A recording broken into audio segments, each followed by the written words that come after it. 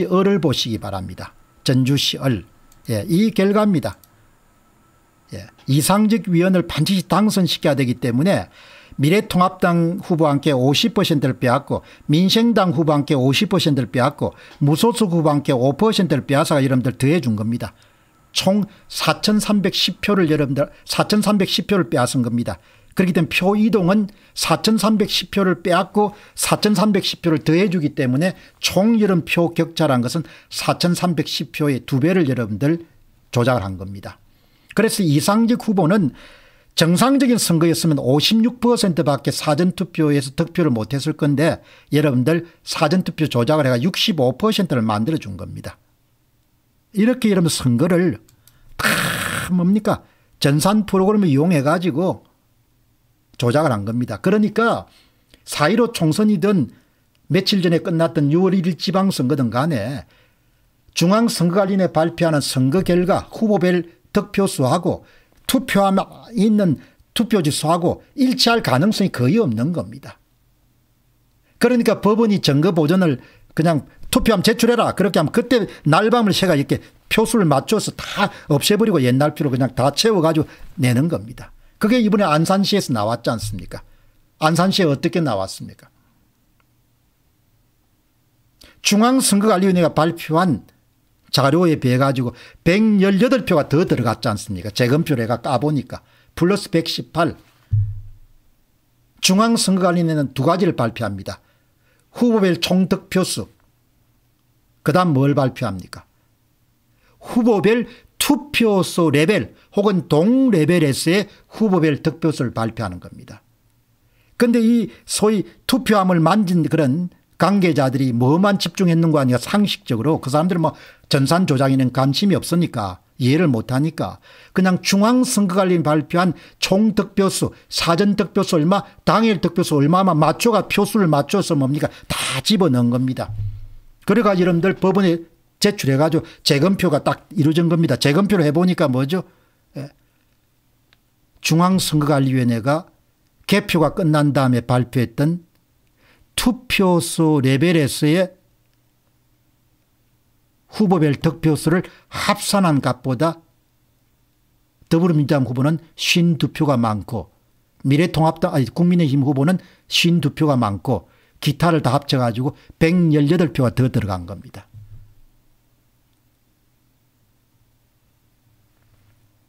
여기서 두 가지가 밝혀진 거죠. 아, 이 사람들이 전산 프로그램을 조작해 가지고 선관위가 발표한 종합 득표수, 총 득표수하고 밑에 쫙 나오는 동별 혹은 투표소 레벨의 이런 투표수하고가 이게 차이가 크게 나구나.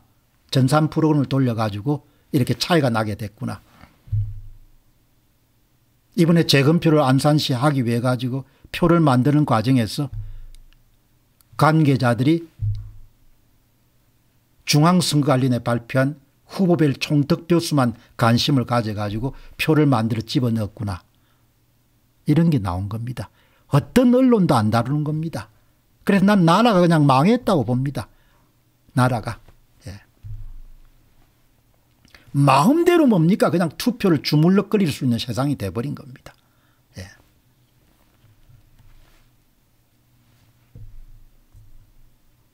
여러분 그래 이렇게 이상직 후보를 팍 밀어줬으니까 여러분 선거 결과가 이렇게 나온 겁니다. 1번 2번 3번은 중앙선거관에 발표된 자료니까 이상직 후보가 최종적으로 6만 7,563표를 받았다 이렇게 발표한 겁니다. 그런데 1번인 사전투표 후보별 득표수가 조작이 됐으니까 그것을 이런 조작 프로그램을 찾아가지고 다 수정한 것이 4번이지 않습니까 4번 5번 6번은 진짜 총득표수입니다. 이상직 후보가 6만 예, 7천 표를 받은 게 아니고 진짜 구해보니까 6만 3천 표를 받은 거죠. 이게 나오지 않습니까? 예.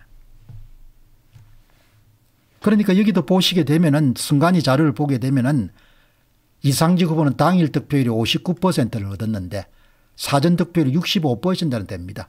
어마어마하게 6%는 많죠. 이건 조작이란 겁니다. 이렇게 큰 차이가 나올 수 없다는 겁니다. 이렇게 여러분들 선거들을 다 그냥 만든 겁니다. 이렇게 할 밖에 하면 국민들이 나서가지고 뭐 사전투표장 가고 할 거 없지 않습니까? 그냥 컴퓨터 시뮬레이션 해가 다 자기들이 당선 당락 결정하면 되니까 이런 짓들을 해가지고 권력을 다 만들어낸 겁니다. 예. 이게 여러분 다 밝혀졌지만 대법관들이 올바른 판단을 내릴 수 있는 가능성은 저는 높아 보이지 않는다는 거죠. 그 다음 여러분들 지금 이제 정치적으로 많이 이렇게 밀린 정동영 씨 보시기 바랍니다. 전주시 병입니다. 정동영 씨도 마찬가지입니다. 여러분 보시게 되면 정동영 씨는 30%를 뺏겼습니다. 그리고 국가혁명배당금당은 30% 빼앗겼습니다. 총 6,604표를 훔쳐간 겁니다.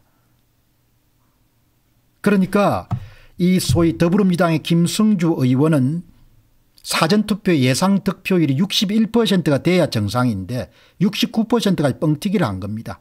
정동영 후보는 36%가 돼야 되는데 28%로 깔아뭉갠 겁니다. 이걸 다 전산 프로그램 해가지고 다 이렇게 조작을 하는 겁니다.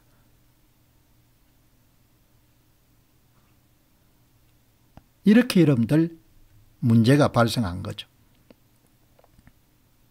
그러니까 여러분들 결과가 총결과가 더불어민주당 김성주 의원은 선관위 발표는 3번 하단입니다. 10만 4,033표를 받았다 이렇게 했는데 우리가 조작 프로그램을 다 찾아냈기 때문에 후보별 사전 득표수를 만들어낸 공식을 찾아냈기 때문에 그것을 역으로 해가지고 수정을 해서 여러분들 진짜 사전투표 득표수를 구한 다음에 진짜 총득표수 구해보니까 10만 4천 표가 아니고 9만 7,429표밖에 안 되는 겁니다. 그러니까 정동용 후보는 조작을 안 해서도 패배합니다. 패배하게 돼 있습니다. 한 10만 패배하게 돼 있는데 4만 예, 표 정도를 패배합니다. 그런데 선관위는 조작을 해가 몇만 표 차이로 패배한 걸 했는 거 하니까 5만 표 이상 차이가 5만 4천 표 정도 차이가 나는 걸로 조작을 한 겁니다. 4만 1천 표 정도 차이가 나야 되는데 5만 1천 표 정도 차이가 나도록 그렇게 조작을 해가지고 선거를 만든 겁니다. 여러분 그러니까 결과가 어떻게 되냐 이렇게 나오는 거 아닙니까 예, 이거 한번 보시기 바랍니다. 여러분 이게 기존 합계라는 것이 이게 선관위가 공식적으로 발표하는 총 후보별 총득표수입니다. 이게 가장 중요한 자료죠. 근데 제야 전문가가 궁금해 가지고 중앙선거관리위원회가 발표한 투표소 레벨마다 후보별 득표수를 다 합산해 보니까 숫자가 안 맞는 겁니다. 두 가지 자료 모두 다 선관위가 발표했는데 숫자가 안 맞는 겁니다. 김성주 후보는 중앙선거관리위원회 총득표수가 6표가 남고 정동영 후보는 2표가 남고 총 8표가 남는 겁니다. 무효소 2표를 합쳐 10표가 남는 겁니다. 선관위가 발표한 자료가 맞지 않는 겁니다. 여러분 선관위가 자료를 발표했는데 후보별 총득표수하고 그 소위 전주시 병에 있는 투표소 레벨마다 여러분들 후보별 득표수하고 일치가 안 되는 겁니다. 당연히 일치돼야 되는 수치죠. 왜 일치가 안 되냐. 표를 빼앗으니까 40%를 빼앗으니까 110표 이렇게 나오는 것이 아니고 110.08표 이렇게 여러분들 소수점이 떨어집니다. 그 소수점을 반올림 거하고 반올림 그냥 떨어뜨리는 거하고 수치가 맞지 않기 때문에 항상 중앙선거관리 총득표 수가 숫자가 많습니다. 예. 그래서 여러분들 컴퓨터가 이런 뭐라 아우성을 치는 겁니다. 나는 작업을 못하겠다. 나는 작업을 못하겠다. 10표가 남았다. 10표가 남았다. 이렇게 아우성 치니까 놀래가지고 뭡니까 전산 담당자가 뭡니까 컴퓨터에다가 뭡니까 그래 마이너스 10 땡 이렇게 하면서 0으로 만들어가 이러면 그 다음에 작업이 된 겁니다. 이렇게 전산 조작을 한 겁니다. 여러분 이번에는 아주 특이한 경우인데 이렇게 1.03이 나오는 경우는 제가 거의 못 봤거든요. 이 제야 전문가 분석이 정확한데 이름 한번 보시기 바랍니다. 이 더불어민주당 김성주 후보는 중앙선거관리위원회 자료에 따르면 이 사전 당일 비율이 1.03이라는 것은 당일 투표 100장당 사전 투표 103장을 받았다 이런 뜻입니다. 근데 진짜를 구해보니까 90장 밖에 없는 겁니다. 표를 쑤셔 넣은 거죠. 정동영 후보는 선관위 자료에 따르게 되면은 당일 투표 100장당 사전투표가 74장밖에 없었더라 이렇게 발표했는데 조작된 것을 다 이름 찾아가 원위치를 시키니까 진짜를 구해보니까 당일 투표 100장당 사전투표 96장이 있는 겁니다. 국가혁명당도 당일 투표 100장당 사전투표 58장밖에 없더라 이렇게 선관위가 발표했지만 진짜를 구해보니까 76장 있는 겁니다. 이렇게 모든 선거를 다 조작을 한 겁니다. 전산 프로그램을 이용해 가지고 예. 이렇게 조작을 해 가지고 사전투표가 황금어장인 겁니다. 30, 30을 여러분들 이게 30, 30, 30을 가져간 겁니다. 그 30, 30을 가져갔기 때문에 여러분 한번 보시죠. 예, 이거. 예. 이 이제 사전 투표를 조작한 거 아닙니까? 그 사전 투표 참가자 수의 7.597%를 민주당 후보가 그냥 공짜로 먹은 겁니다. 누구 함께 빼앗아 가지고 민생당의 정동영 후보하고 행명당 후보한테 여러분 똑같은 비율을 빼앗아 가지고 여러분 여기서 중요한 것은 뭔가 하니까 절대 선거에서 표는 하늘에 떨어지지 않고 화성에서 떠오지 않고 미국에 수입하는 것도 아니고 중국에서 건너오지도 않습니다. 어떤 사람이 얻은 사전투표를 동일한 수만큼 빼앗아 가지고 동일한 수만큼 더해 줍니다. 그래 그게 여러분 지금 이 플러스 7.597 마이너스 7.597입니다. 민주당 후보의 사전투표 득표일 당일 투표 득표일 빼기입니다. 민생당 정동영 후보의 사전투표 득표일 당일 투표 득표일 빼기입니다. 행명당 후보의 사전투표 득표일 당일 투표일 빼기입니다. 총 조작 규모가 얼마입니까 15.2% 플러스 7.597 더하기 플러스 7.597 하니까 사전투표 득표수의 15.2%를 전주시 병에서 실행에 옮긴 겁니다. 그래서 정동영 후보를 완전히 낙마시켜버린 겁니다. 민주당 후보 이름 차이값이 얼마 나옵니까 여기 7.6이지만 더 정확하게 컴퓨터 계산하지 않습니까 7.597%다. 민생당 후보와 혁명당 후보는 뭐죠 마이너스 7.597%다. 계산이 정확하게 나오는 겁니다. 거듭 말씀드리지만 표는 하늘에 떨어지지 않는다는 겁니다. 표는 이동할 뿐이다는 겁니다.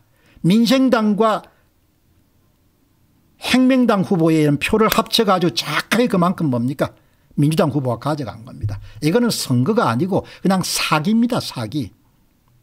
그래서 영어 표현은 부정선거라고 하지 않고 선거 사기라고 election fraud라는 표현을 쓰지 않습니까 voter fraud 선거 사기를 한 겁니다. 언제부터 2017년 대통령 선거 2018년 지방선거 2020년 총선 2021년 4.7 서울시장 보궐선거 2022년 3.9 대통령 선거 2022년 6월 1일 지방선거 다 뭡니까 선거 사기를 한 겁니다. 선거를 한 게 아니고 사기를 친 겁니다. 어제 윤석열 대통령이 전세 사기를 강력하게 단속할 수 있는 그런 팀을 구성하라. 그 전세 사기보다 뭐 엄청나게 중요한 게 선거 사기지 않습니까? 이렇게 이런 조작을 한 겁니다. 그래서 2020년 4.15 총선은 전남 전북 광주도 전반적으로 조작을 안 했지만 군산시처럼 임실군 순천군 고흥군 강진군처럼 보성군처럼 조작을 안 했지만 전반적으로 조작을 안 했는데 그러나 목포시 전주시 병, 얼 이런 것들처럼 반드시 당선시켜야 될 이상직 후보 반드시 낙선시켜야 될 박지원 후보 반드시 낙선시켜야 될 뭡니까 정동영 후보 같은 경우는 그대로 뭡니까 조작을 했고 다른 지역도 이런 특이한 곳이 많습니다.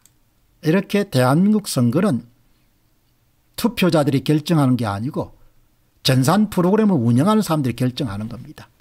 이렇게 여러분들 됐는데 그런데 7월 28일 이제 한 일주일 남았습니다.